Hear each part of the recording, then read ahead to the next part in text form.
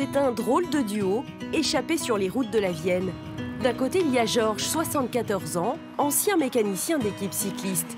De l'autre, son fils Xavier, 50 ans, des coureurs amateurs à la tenue de route peu commune. C'est un maillot d'une équipe euh, grecque et c'est anonyme. Ça, je ne pourrais pas vous dire à qui il a appartenu.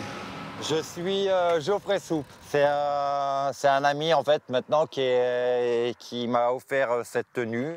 Dans la famille Cross, le vélo c'est une passion chevillée au corps, une vie, résumée par une collection exceptionnelle.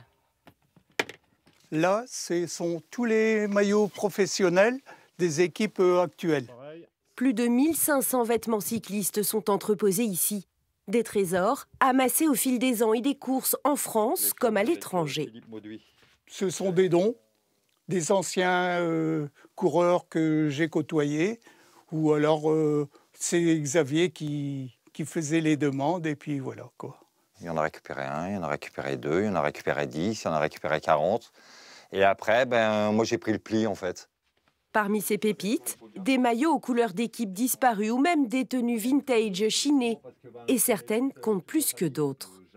Celui qui me tient à cœur, c'est on va revenir, c'est euh, Mathieu Van Der Poel, qui actuellement est l'une des stars dans le milieu du vélo. Et euh, je rêverais d'avoir sa signature. L'été prochain, père et fils seront probablement alignés sur la route du Tour de France lors de son bref passage dans la Vienne. L'occasion peut-être d'étoffer leur collection.